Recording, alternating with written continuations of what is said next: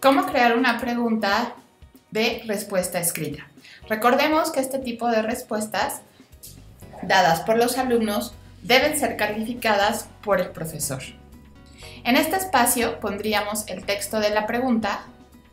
De igual manera podemos poner negritas, cursivas, subrayado, agregar una imagen, un archivo o video, plantear ecuaciones y en este espacio pondríamos nuestro texto.